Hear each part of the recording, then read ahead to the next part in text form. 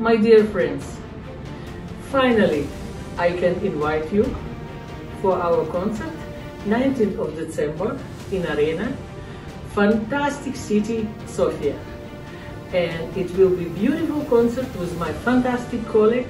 See you there. I hope in this time COVID will not disturb our fantastic evening.